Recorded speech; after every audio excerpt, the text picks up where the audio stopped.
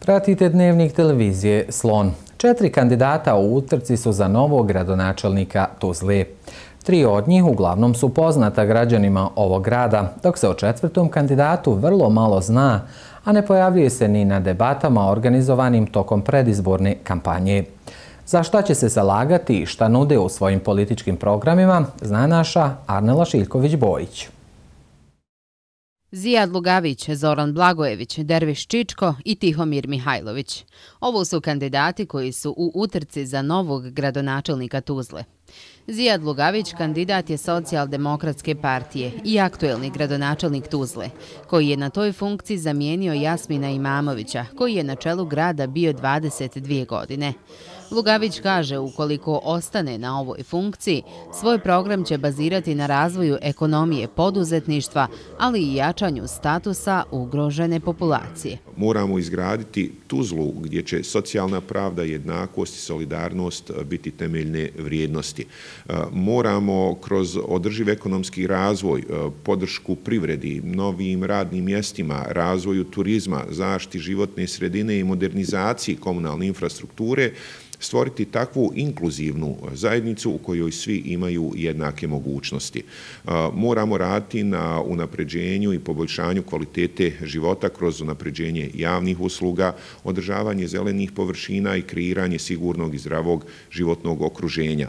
Po prvi put u utrci za gradonačelnika Tuzle je i Zoran Blagojević, kojeg je kandidovala stranka demokratske akcije. Javnosti je manje poznat kao bivši savjetnik Fadila Novalića, a više kao bivši ministar za boračka pitanja Tuzlanskog kantona. Blagojević kaže da bi prvi korak koji bi napravio kao gradonačelnik bio jačanje industrije u Tuzli. Znači, jedna stvar koju ću se fokusirati jeste izgradnja ozbiljne, moderne industrijske zone gdje ćemo, gdje ćemo, gdje sam ja rekao e, skoro na nekom mom e, u jednom mom govoru rekao sam da ću 12 fabrika u prve dvije godine dovesti. Jer ja znam i, i kako se zovu te fabrike i znam ljude. To će, to će biti većinom ljudi koji su sa ovog podneblja, koji su otišli gore Švedska, Norveška, Finska i koji su izrazili želju da se vrate i da, da otvore pogone ovdje u Tuzli. Na jačanju industrije i privrede radio bi i kandidat stranke za Bosnu i Hercegovinu, Derviš Čičko, ali ono na čemu posebno planira raditi ukoliko postane gradonačelnik je upoznavanje građana sa radom gradske uprave. Čičko je javnosti poznati kao kandidat za gradonačelnika Tuzle na vanrednim izborima koji su održani 2023. godine.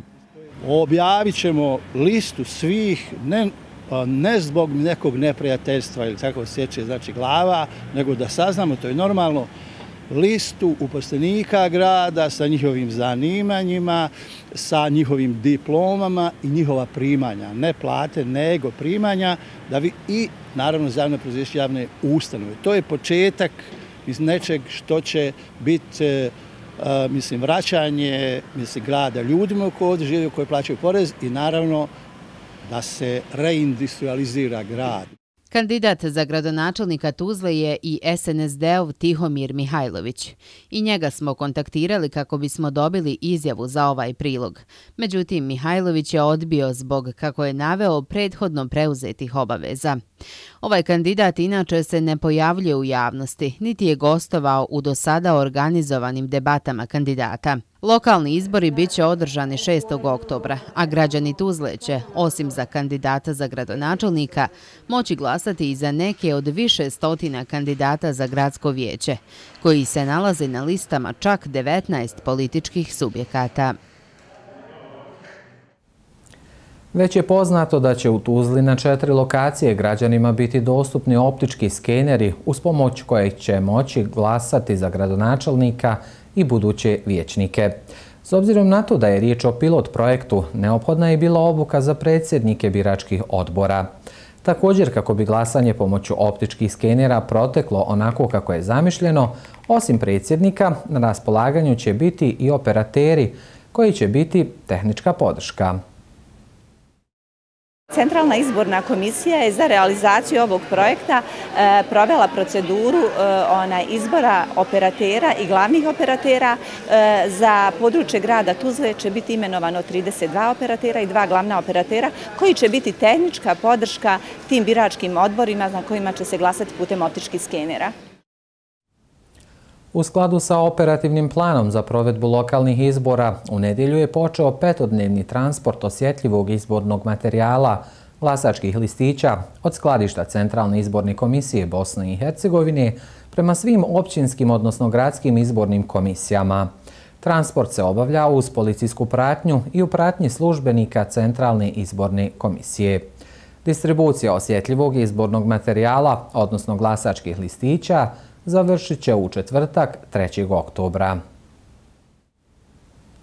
Radio televizija Slon će i za ove izbore prenositi najnovije vijesti i informacije sa terena.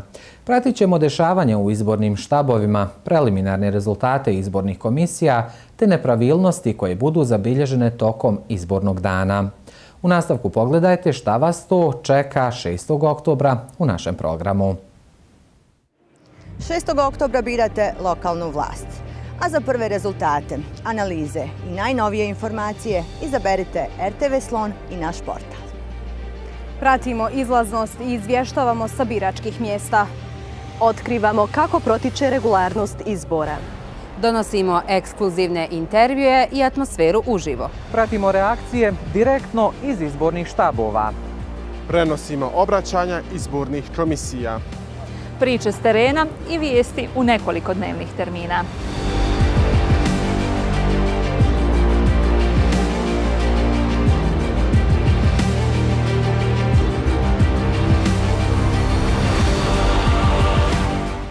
Neka radio televizija Slon bude vaš prvi izbor.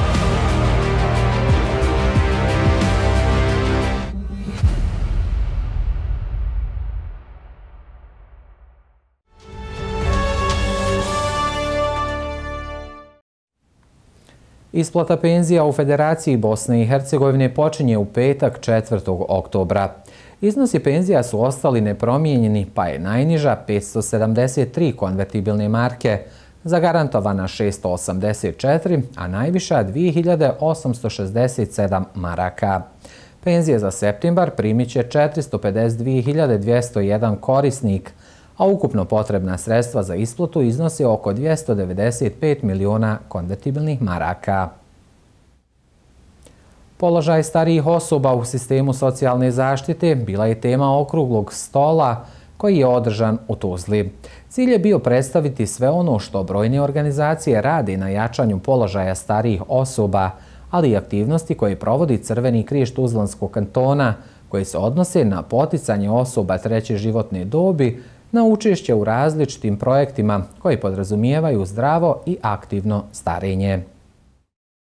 Kroz dugogodišnji rad Crveni križ Tuzlanskog kantona aktivno radi na onopređenju položaja osoba treće životne dobi, kako kroz različite humanitarne aspekte, odnosno humanitarne programe, kroz distribuciju humanitarne pomoći, ali tako i kroz druge programe koje imaju za cilj unapređenje tog položaja i evo konkretno promociju zdravog i aktivnog starenja s obzirom da osobe treće životne dobi i tekako imaju kapacitete koje mislim da nisu dovoljno iskorišteni. Svi trebamo zajedno raditi da taj ti kapaciteti e, značajno doprinesu u napređenju i njihovog položaja, ali generalno svake zajednice. Saradnja između BH Telekoma i Agencije za identifikacijone dokumente, evidenciju i razmenu podataka Bosne i Hercegovine predstavlja ključni korak u modernizaciju usluga, ali i značajan korak u procesu digitalne transformacije u Bosni i Hercegovini. Upravo kroz digitalizaciju organizacije mogu bolje pratiti potrebe svojih korisnika i prilagoditi usluge u realnom vremenu.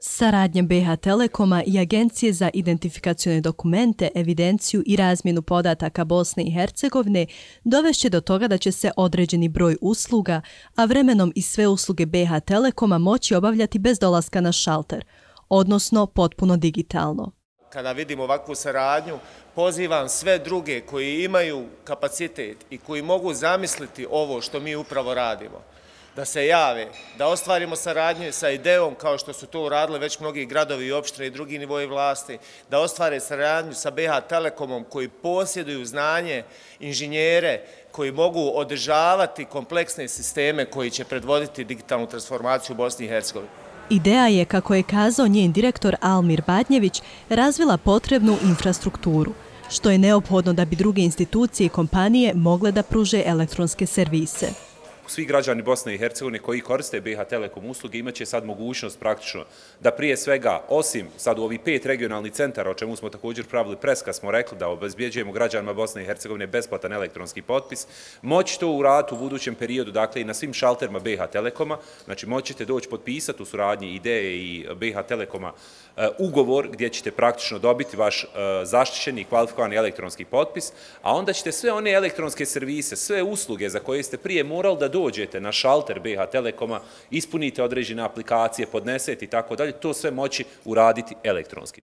Generalni direktor BH Telekoma Amel Kovačević naglasio je da su tehnološki kapaciteti BH Telekoma na raspolaganju privatnom i javnom sektoru u procesu vezivanja različitih institucija i drugih koji žele da se osavremene na ovaj način. Mi u BH Telekomu su ponosni na tu činjenicu da smo prvi, a također nam je pravo bitno iz perspektive naših poslovnih ciljeva da e, integriramo ovaj digitalni potpis u naše interne procese.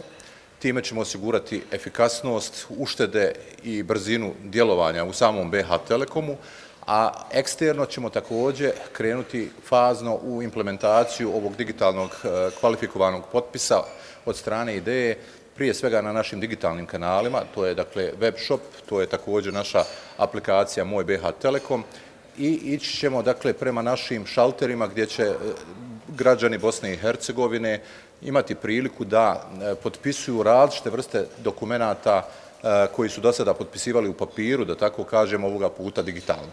Kovačević je ukazao i na to da je korištenje zaštićenog kvalifikovanog potpisa već moguće u BH Telekomu te da će biti potrebno određeno vrijeme da se digitaliziraju sve usluge. U nastavku dnevnika prelistavamo web portal rtvslon.ba. Ovo su neke teme o kojima možete čitati. Jedna od najčitanijih vijesti je da su uhapšene dvije osobe tokom pretresa širom Tuzlanskog kantona. Izdvajamo vijest da broj onkoloških pacijenata u Federaciji Bosne i Hercegovine raste. Jedna od vijesti koju možete pronaći na našem portalu je da je u porodilištima širom Bosne i Hercegovine evidentirano manje rođenih beba.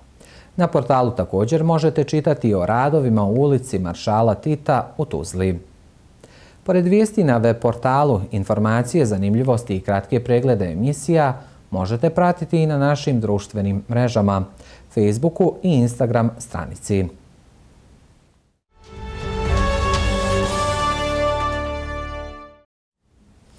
Gradsko kulturno-umjetničko društvo Bosna iz Tuzle u subotu je organizovalo prvi međunarodni festival folklora. Bosanski kulturni centar Tuzlanskog kantona bio je domaćin za više od stotinu izvođača iz Bosne i Hercegovine, Srbije i Crne Gore, koji su svojim nastupima publici pokazali plesove i igre krajeva iz kojih dolaze. Prvi međunarodni festival folklora u Tuzli okupio je veliki broj kulturno-umjetničkih društava iz Bosne i Hercegovine i regije. Jedno od njih je i Baščaršija iz Sarajeva, koje se tuzlanskoj publici predstavilo sa tradicionalnim muslimanskim igrama iz starog Sarajeva. Ovo je igra koju veoma često izvodimo i veoma je simbolična za naš grad i općenito za tradiciju iz naše e, države Bosne i Hercegovine. Dakle, ona se sastoji od igara i pjesama iz starog Sarajeva, kao što sam navela. Također, dio, jedne, dio te koreografije kada dvije djevojke drže, zapravo jedna drži siniju, a druga vrti tepsi na toj siniji i ona pjeva. To simbolizira kako su prije generacije pjevale u tu tepsiju kako bi se širio glas te pjesme. Po prvi put u Tuzli gostovali su plesači Kulturno-informativnog centra Budo Tomović iz Podgorice i ansambl narodnih igara Hajduk Stanko iz Šapca. Publika je morala uživati u igri koju donose plesači Crnogorskog primorja i Juga Srbije. Predstavit ćemo se sa dvije koreografije. Jedna je koreografija e, igre iz Stare Crne Gore, i druga koreografija je plesovi i igre iz Boke Kotorske.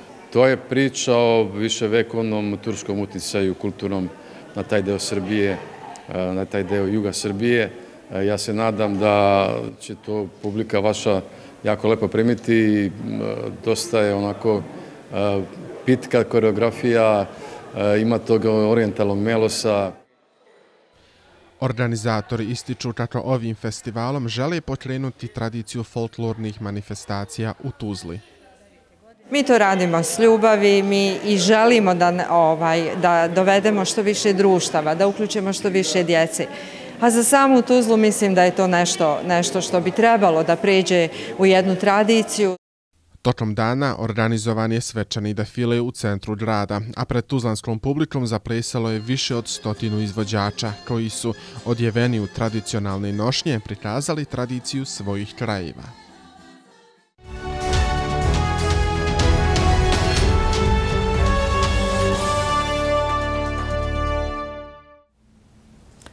Za vikend su igrane utakmice devetog kola futbalske premijer Lige Bosne i Hercegovine i treće kola rukometne premijer Lige.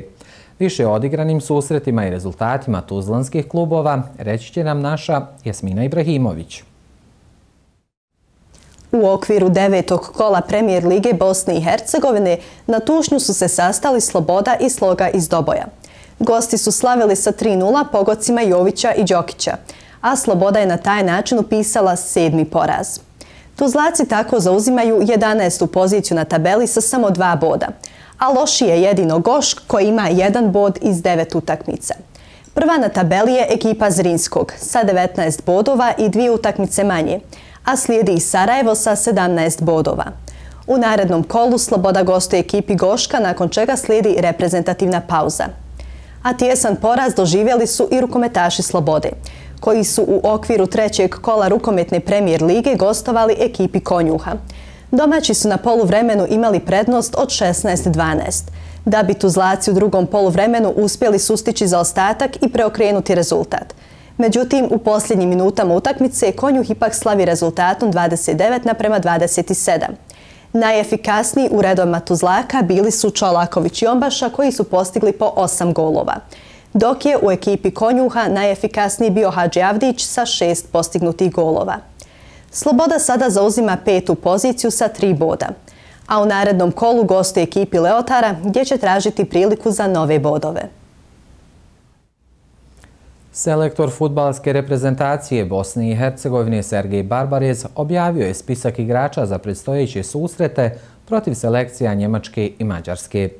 Za susrete trećeg i četvrtog kola Lige nacija protiv ove dvije selekcije, koje će se igrati 11. i 14. oktobra na stadionu Bilino polje u Zenici, pozvao je 23 reprezentativca.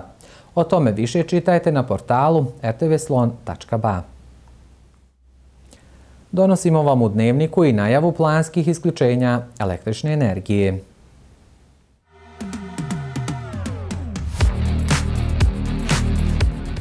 Zbog planiranih radova na elektrodistributivnoj mreži doći će do prekida u snadbjevanju električnom energijom. 1.10. utorak na području općine Kalesija u naseljima Međaš Zulići, Međaš Vodovod, Petrovice i Bukvari u vremenu od 10 do 13 sati drugog desetog srijeda na području grada Tuzla u ulici Turali Begova u vremenu od 8.30 do 10 sati, grada Gradačac u naseljima Brdo, Ilovac, Bagdale 2, Bukva 3, Ahmetaši, Mionica 2, Vukovići, Bošnjakovići, Sejdići, Mujići, Sinanovići, Liporašće 1 i Liporašće 2 u vremenu od 9 do 15 sati. Grada Srebrenik u dijelu nasilja Radići kod Jafa Jase u vremenu od 8 do 11 sati. Grada Živinice u naseljima Đankići, Svojat, Zelenika 1 i 2,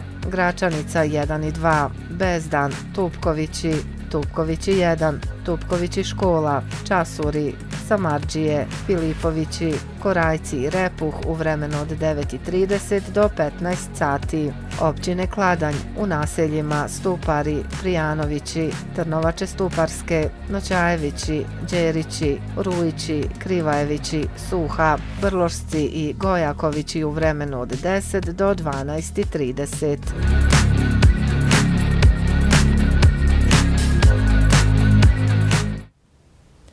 Kako nas vrijeme očekuje sutra, saznajte u nastavku. Danas je u Tuzi bilo uglavnom oblačno vrijeme. Maksimalna temperatura je bila 15 stepeni Celzijusa. A sutra 2 stepena više. Ovo su temperature zabilježene u ostatku kantona. Sutra će se kretati od 15 do 18 stepeni. U drugim dijelovima Bosne i Hercegovine je uglavnom bilo slično vrijeme. Najviša temperatura je bila u Neumu 19 stepeni. Sutra u našoj zemlji sunčano uz malu do umjerenu oblačnost. I narednih dana slične vremenske prilike. Biometeorološka prognoza je povoljna. Stabilno vrijeme ugodno će djelovati na većinu populacije.